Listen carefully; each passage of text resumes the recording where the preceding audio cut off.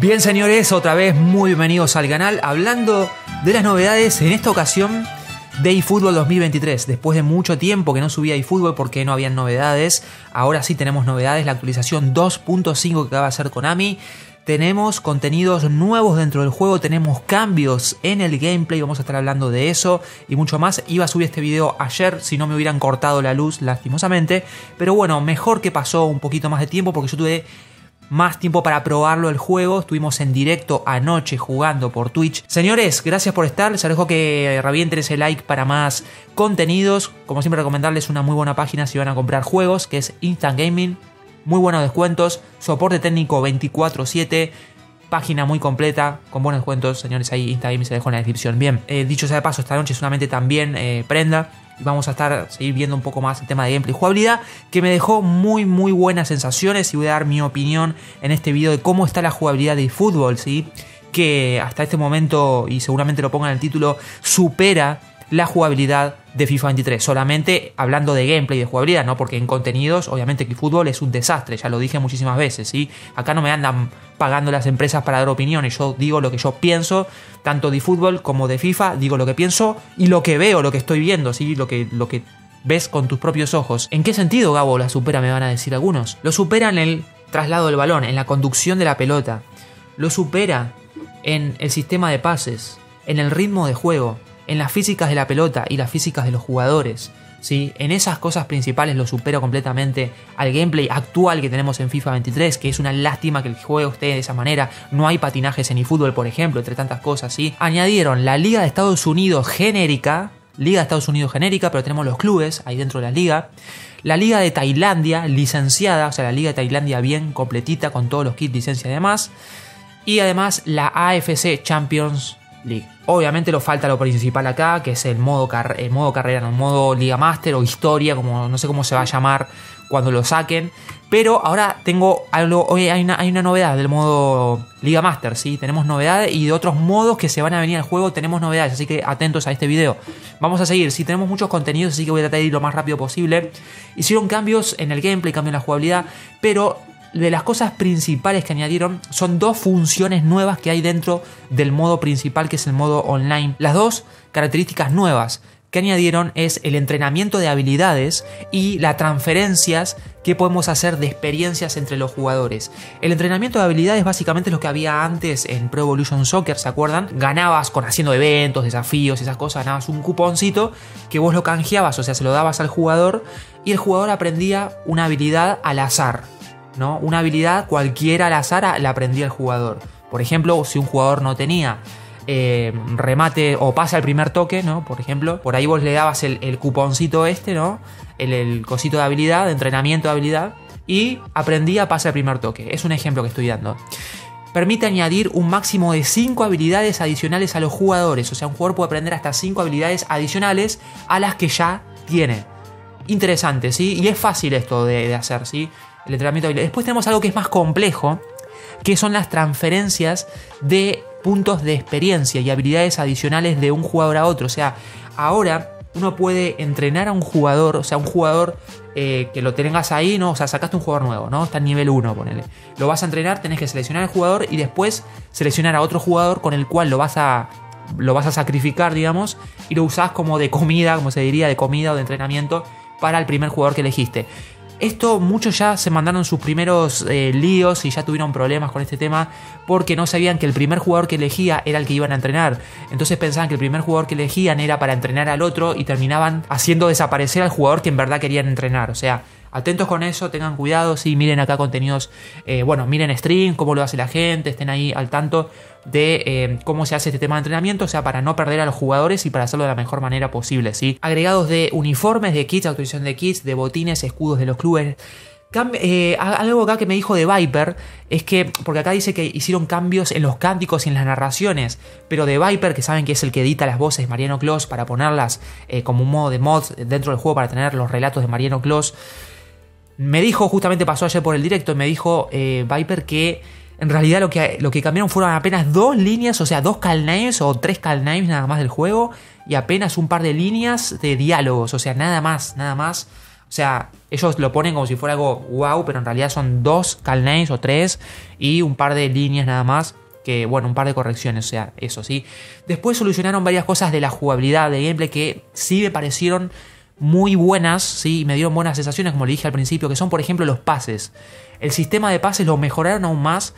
Vieron que antes en eFootball, cuando vos dabas un pase, a veces el pase muchas veces quedaba muy corto, ¿no? Quedaba corto, sobre todo los pases largos, como que no tenía potencia. Bueno, ahora mejoraron eso, lo ajustaron a, una mejor eh, eh, equilibrio, mejor estabilidad de los pases y ya los pases no quedan tan cortos como antes. No solamente los pases cambiaron y mejoraron, sino también los controles, las defensas, los porteros, solamente en una cosa que ahora la voy a mencionar, y el tema de las faltas, ¿sí? El tema de los porteros lo que hicieron es implementar ajustes para que cuando el portero haga una parada con las puntas de los dedos, dice, sea ahora más fácil que el balón sea, salga rechazado lejos de la portería, ya que antes la velocidad y la dirección del balón, que, que era despejado, podían ser inadecuadas o como que quedaban ahí al borde del área para que venga el otro y meta el gol. De los porteros solamente eso, todavía creo que a los porteros le faltan algunas cositas de tema de reacciones, es, mi forma de, pensar, ¿sí?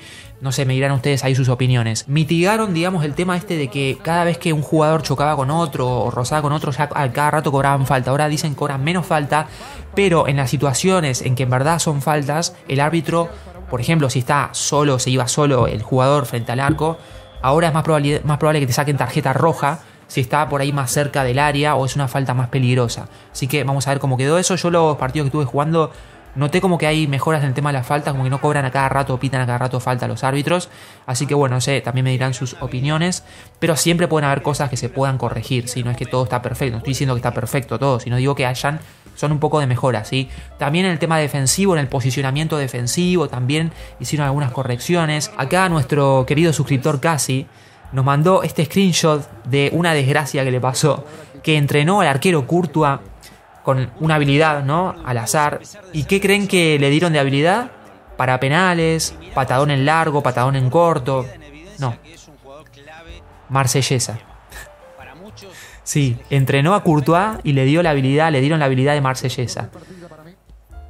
Konami, Konami sigue siendo Konami, o sea, tiene esas cosas, o sea, bueno, le dije que disfrute, que disfrute a Courtois ahora con la habilidad marsellesa, no sé cuánto lo va a usar, la verdad.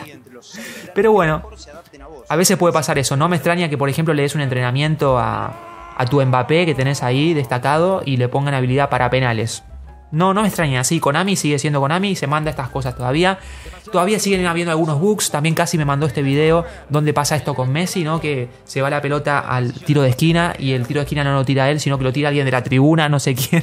O sea, muy gracioso, la verdad, una locura. No sé, díganme ustedes si les pasa alguna de estas cosas y bugs y estos errores. Que esto pasa siempre, en cualquier juego siempre puede pasar, cosas graciosas que en realidad, ponen, es el tema de las habilidades, creo yo que lo tienen que tratar de solucionar y que un arquero no tenga marsellesa, por ejemplo, ¿no?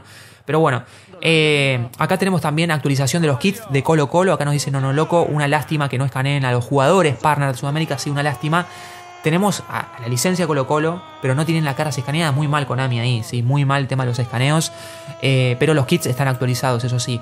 Tenemos mejoras en apenas pequeñas mejoras en los gráficos, en el juego. Seguramente al inicio habré mostrado y ahora voy a mostrar también el tema del movimiento de los pelos. Mejoraron el movimiento de los pelos de jugadores. Se ven un poco más detallados. Digo, no es un cambio gráfico brutal en absoluto. No nos estoy diciendo acá en este video que es un cambio gráfico brutal.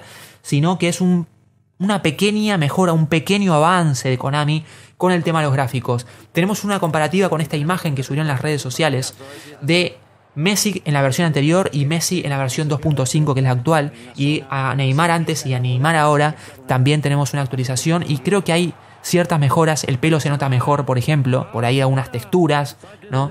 Se nota algo de mejora. Sí, Konami va a paso de tortugas, es verdad, eh, va a un ritmo lentísimo en mejorar gráficamente el juego, que mucha gente dice que el juego tiene gráficos de celulares, que esto, que sí, que lo van mejorando muy lentamente, pero algo es, eh, algo es algo, ¿sí? Dentro de todo lo malo, algo es algo. Amigos, creo que este video se me va a hacer un poquito largo porque son muchas cosas, como les dije. Durandil acaba de descubrir en la base de datos, así como pasó en FIFA también, que descubrieron contenidos nuevos en la base de datos. En eFootball, Durandil de la comunidad descubrió lo siguiente: se pueden encontrar algunos datos de desarrollo de la Liga Master. Aquí hay una carpeta completa con dos escenas de elección de estilo de equipo. Tengan en cuenta que están presentes en la versión de móviles por ahora. Fíjense que tenemos una captura donde, eh, bueno, aparecen unos códigos, ¿no? es el que lo entiende, y aparecen códigos de LS, Master League, ¿no? Y acá tenemos códigos que ya aparecen que se suman a los que ya habían encontrado. Antes habían encontrado códigos de lo que fueron, digamos, lo que serían, por ejemplo, eh, tema de, las transferencias, de, la persona que hace los, los contratos, de periodistas, de entrevistas, de, o sea, todas cosas que van a aparecer, contenidos que van a aparecer dentro de la Liga Master. Y ahora encuentran eh, escenas de elección de estilos de equipo. Así que se viene Liga Master, amigos, más adelante. Esperemos que este año, final de año, yo pienso que puede ser que llegue. Así que vamos a ver. Encontró nueva mención dentro del código del juego del modo cooperativo en línea en la fase de prueba y depuración según esta cadena. Fíjense que tenemos acá esta, este screenshot que sacó él del código Cop Mode Open, del modo cooperativo, que próximamente también va a llegar. No sé si va a llegar. Yo creo que el cooperativo llegaría antes que la Liga Master, pienso yo, porque ya el online está todo armado, creo que faltaría meter el modo. La Liga Master creo que llevaría más tiempo porque tienen que meter más ligas, tienen que solucionar más cosas, el tema de la IA y todo eso, creo que va a llevar más tiempo. Pero modo cooperativo, amigos, eh, también está en, la, en el código del juego, así que va a llegar al juego, ¿sí? Otra cosa que añadieron en el código del juego, no en el juego, sino en, la base de datos, el estadio José Albalade se agregó en los archivos del juego, pero faltan texturas, obviamente. Todavía debe estar en proceso de conversión desde PES 2021, o sea, lo van a convertir de PES 2021 hasta ahora el estadio del equipo de Portugal, ¿no? Del Sporting, ¿no? Se creyeron que se terminó, no se terminó todavía. Tenemos más cosas que descubrió Durandil noté la adición de una cadena de la liga PNC con las ligas falsas que ya tenemos en el pasado. ¿Se acuerdan la liga fake de Pro Evolution que eran la PEU, la PLA y la Paz? Bueno, ahora se añadió una liga PNC, tal vez una nueva liga falsa para los modos fuera de línea. Vamos a ver si va a ser una liga fake o va a ser una liga nueva que van a añadir licenciada con, no sé, algo nuevo. Vamos a ver eso amigos. Y sigue diciendo, se han agregado algunos modelos de copas falsas, incluida la UEFA Conference League. Los modelados 3D aún no están listos. Quizás agreguen el tema de la UEFA, la Copa de la UEFA, pero obviamente de forma fake, porque ya saben que es la licencia de EA Sports. Así que mm, vamos a ver, amigos, todo cuándo va a llegar todo esto que está en el código fuente, o sea, en el código base del juego, cuándo Konami lo va a dar a la luz. Creo que todavía le falta muchísimo al juego. Hay cosas que tienen que mejorar. El tema gráficos tiene que mejorar mucho porque a la gente no le gusta cómo se el juego gráficamente. Es una cosa que es así. Eh, el modelado de los jugadores, los cuerpos de los jugadores, falta mucho. Pero, como dije al principio, tiene un gameplay, una jugabilidad, amigos, que sigue superando a FIFA 23. Y esperemos que Konami siga con, bueno, puliendo la jugabilidad, pero que se empiece a centrar más en los, todos los contenidos que le falta al juego, ¿sí?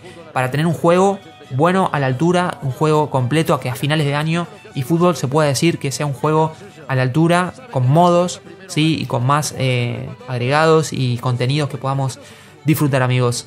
Hasta acá este video, gracias por ver, gracias por estar, like para más y nos vemos hasta la próxima.